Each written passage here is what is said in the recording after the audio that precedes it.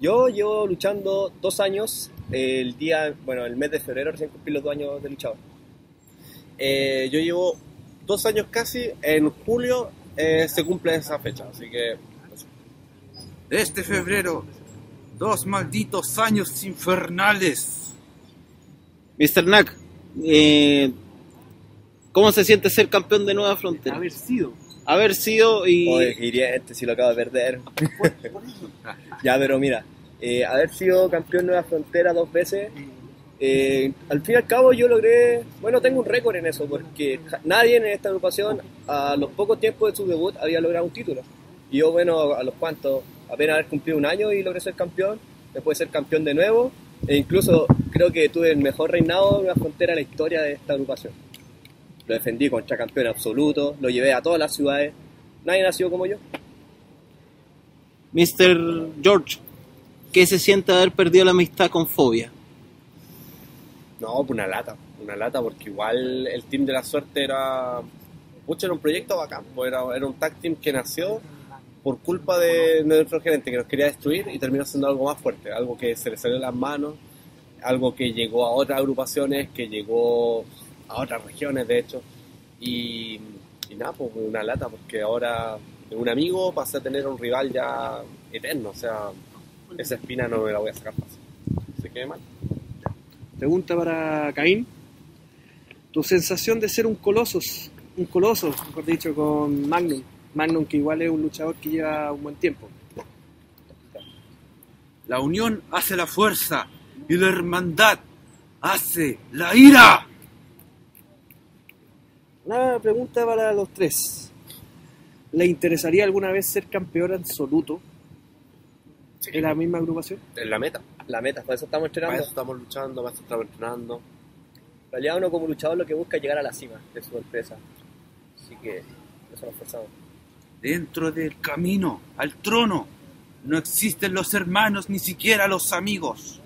Solamente hay un solo destino. Hay que hacerlo, ¿no? Si tuviera la posibilidad de ir a luchar a regiones más allá de Santiago, ¿a dónde les gustaría ir a luchar a ustedes? No tengo preferencia. Cualquier lugar, en verdad. No, no conozco mucho. A mí me gustaría, pucha, si es posible, hacer un tour. Conocer cada una de las agrupaciones y ya viene siendo del norte o del sur. Me gustaría estar en todos lados. Donde sea que me convoquen. Siguiente pregunta. Eh, de todos los luchadores con los que han compartido ring, ¿cuál ha sido el rival más difícil dentro de sus carreras? Uf, Ojo, díganme el nombre y la agrupación, si es que han estado en otra agrupación o de su propia agrupación como tal. ya. Difícil. Yo tengo dos.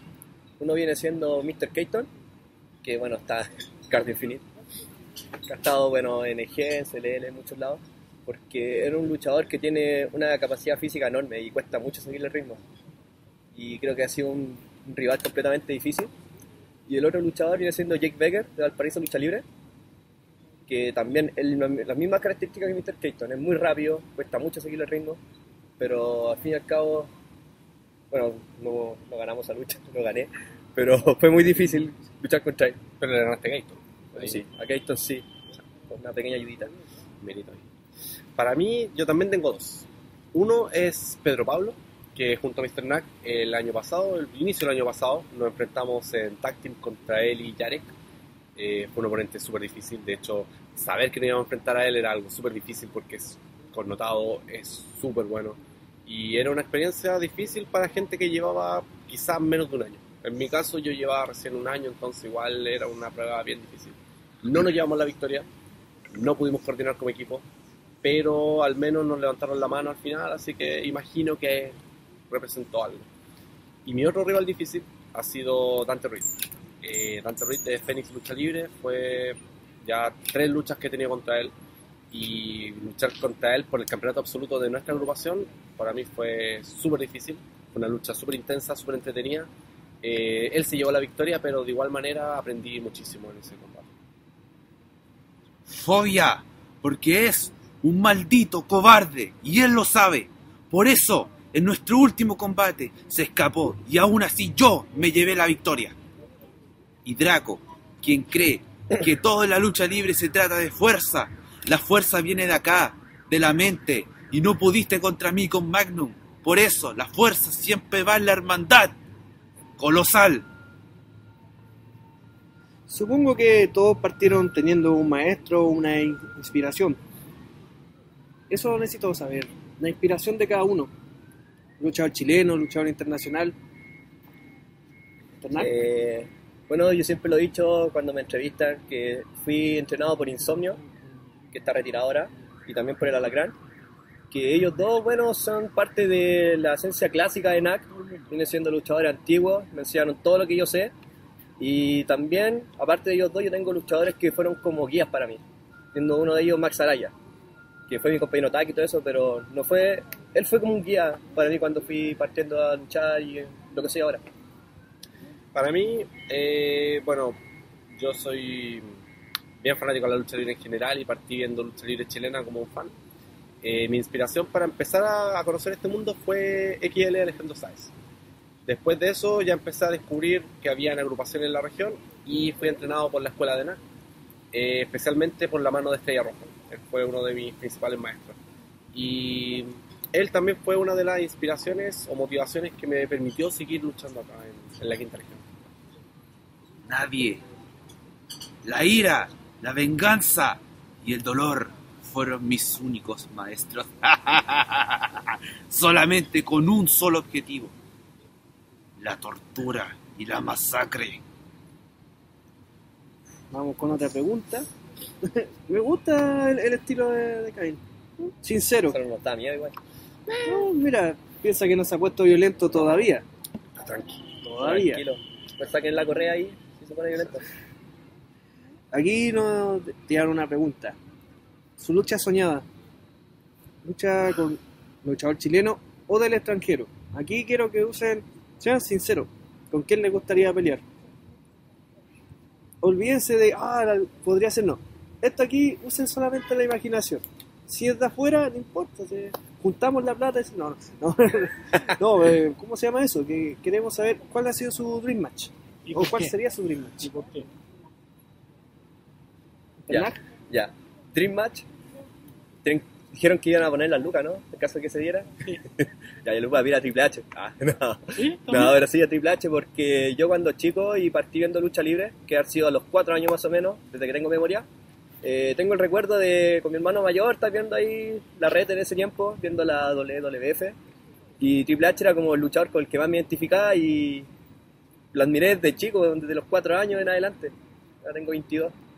Y es como, wow, sería bacán. George. Dream Match, tengo varios, pero hay tres favoritos. Uno, eh, Sami Zayn, porque es uno de los luchadores que, de la Independiente al menos, que me ha inspirado mucho.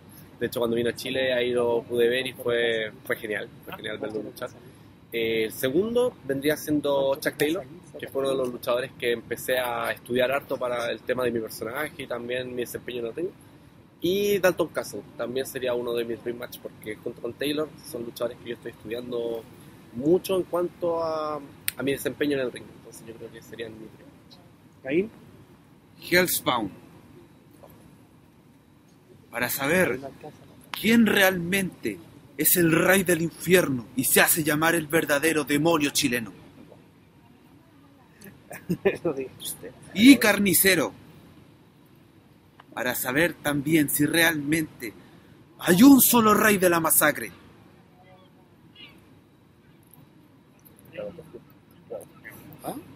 Sí, buena respuesta. pe- Inclusive la de Caini es más accesible. Aunque tengo que no nos alcanza la plata para traer a Sami Zayn, Triple H. pero conseguir a Hellspawn y a Carnicero, imagínate una triple amenaza. Caín contra Hellspawn contra Carnicero Con el hambre de púa de con alambre de púas, claro. No, Fuego. Ah, listo, sí se puede. A ver.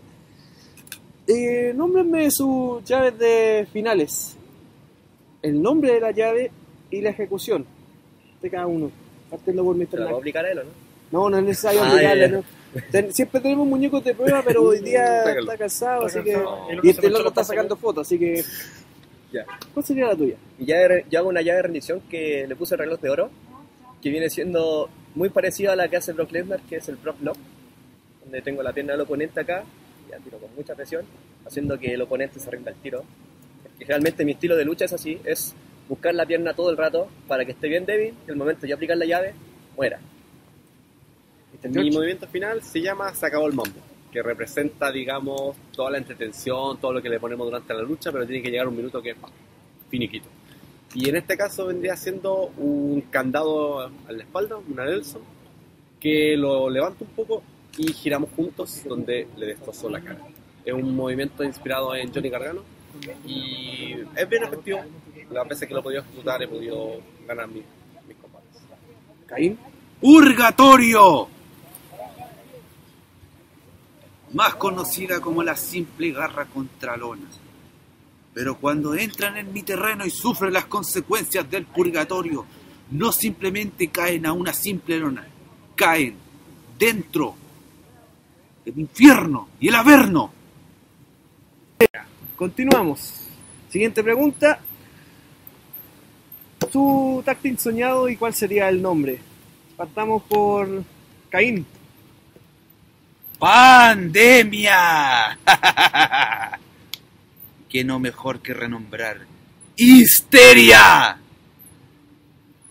comandados por el gran Azagot. Técnicamente una facción. Interesante. Mr. Knack. ¿Sí? Usted es Mr. Knack, ¿o no? Sí, pues. Sí, pues. Yo eh, voy a estar con el Team ABC1. JF Román y Pensácola. Porque, loco, mírenme, yo pertenezco a ellos. Mira, esto lo compré en la NASA en Estados Unidos. Oye, es verdad, loco, yo estuve en la NASA, cualquier cosa de risa en mi Instagram. Así que yo creo que estaría, estaría piola.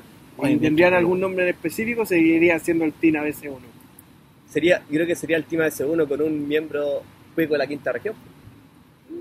Ya que tenéis dos tipos de las condes, aquí tenéis un compadre que nació en Reñaca, cacha. O sea. O sea, hay plan. Y pasamos por último a Mr. George. A ver, pensé en dos. Uno, eh, Mr. Keaton, el Mr. Team, estaría súper entretenido. ¿Y yo? Cardio ¿Y ahí? Infinite, uh, sí, una facción. Sí, el, Cuico, Mister, sí. el Alto Carisma y el Cardio Infinito. Yo creo que sería una, una buena combinación tag, tripleta y con Skelter. Me gustaría ver Skelter, tiene como ese, como ese factor de entretenimiento que, que la lleva. Yo creo que, que sería entretenido hacer un tag con él. Nombre, se lo dejo a él. Así que ahí Skelter. Jump. Lo coordine, lo coordine. Soy muy simpático. Siguiente pregunta. Esto ya es un poco más serio. No es necesario entrar en muchos detalles, pero quiero saber, para usted, lo bueno y lo malo de la actualidad de la lucha libre nacional. ¿Quién quiere partir? A ver, lo bueno eh, que está cada vez masificándose más. Que cada vez está entrando mayormente a, a la retina de los chilenos. O sea, estáis viendo lucha libre en todos lados. Norte, sur, Santiago, en la quinta región ya estamos viendo muchísima lucha libre, se está moviendo harto, entonces se masifica un montón. Yo encuentro que eso es súper positivo y también compartir con los luchadores. O sea, no solamente ser herméticos en tu agrupación, sino que también poder luchar con compadres de afuera, poder entrenar con locos de afuera. Ese trabajo en conjunto es, lo encuentro fantástico. Yo no sé si en otros países pasa, pero aquí al menos yo encuentro que es genial ese compartir. Y lo malo, yo encuentro que lo malo es probablemente eh, estos, estos pseudo feudos en Facebook o estos palos que se van tirando en Facebook. Encuentro que no es positivo, tanto para los luchadores como para los fanáticos que lo leen, porque es algo que no necesitan saber. Y es algo que quizás me lo podrían decir de otra manera y con altura de miras y personalmente. Encuentro que Facebook podría ser una buena herramienta para publicitar los shows, más que para agrandar un problema que quizás es algo de pasillo, de, de backstage y que podría solucionarse como, como caballeros. ¿Quién más? Eh, yo puedo decir que lo bueno es que la lucha libre, aparte de estar creciendo como difusión, como lo que es espectáculo, que cada vez tenemos eh, empresas o agrupaciones que están haciendo shows mejor producidos, eh, también está subiendo mucho el nivel. el nivel de lucha está subiendo mucho aquí en Chile y eso hace que por lo menos nosotros, los demás luchadores, tomen la iniciativa de seguir avanzando y estar al nivel de ellos. Hacer lo posible para poder verse bien, tener bonitos trajes, luchar mejor.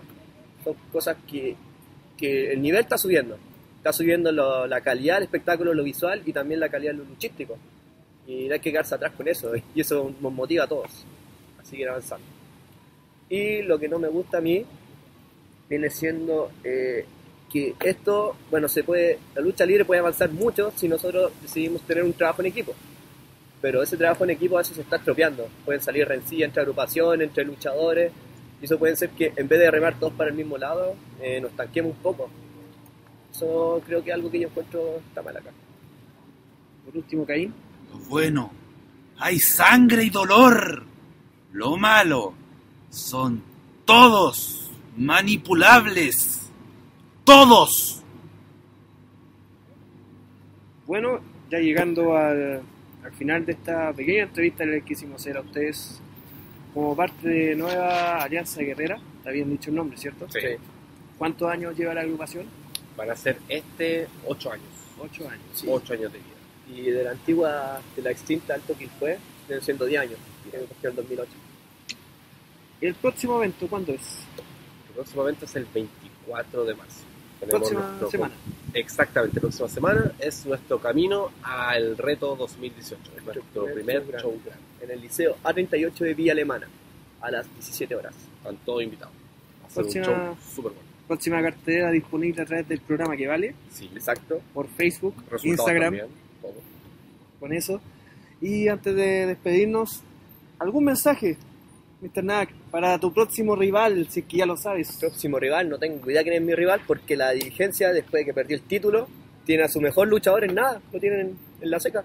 Así que, dirigencia, si me están viendo esto, avíspense, por favor, tienen a su mejor luchador en nada. Avíspense. Y BLL lo está moviendo. BLL, una agrupación de afuera me está pescando, me está dando lucha y ustedes no me están dando nada. ¿Viene esta bolera? Si siguen así me la va a terminar cambiando. Dejo avisado. A ver, mi próximo rival es Jerome. No te conozco. Tampoco te quiero conocer. Y Fobia. Otra vez Fobia. Y si estás viendo esto, no creo en verdad. Eh, te gané en diciembre. Se acabó el año, se acabó todo y no quiero hacerlo de nuevo, pero la gerencia me obliga a hacerlo. Así que vamos a darlo todo. Espero que no te arranques como con mi compadre, estás agarrando esas mañas. Y pucha, para Chile, prepárense porque Mr. George este año viene con todo. Caín, Esto no es nada en comparación a lo que se viene. Prepárense, porque se viene la cadena del dolor. bueno, muchas gracias por esta entrevista desde, ¿cómo se llama esta plaza? Perdón. Esto es. No tengo idea. Bueno, estamos en la plaza al lado del Casino de Viña, no les vamos a dar el dato para que no vengan.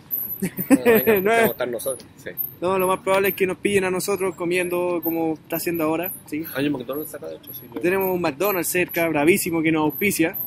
Y la playa Esperamos. mostrar las calugas. Claro, Sí. claro, la- las calugas de luchador. Sí. Hacemos lo que puede. Muchas gracias por, No, el- ustedes. por su tiempo. Gracias por haber aceptado lo que no les pagamos. Eh, tienen que acostumbrarse que nosotros les vamos a pagar, pero con, son, con cheque a largo plazo, así que. Téngannos paciencia y esperamos encontrarnos en un show de NAC en un futuro, estar ahí y grabar el programa que nadie pidió que pronto sale a la luz. Muchas gracias. Perfecto.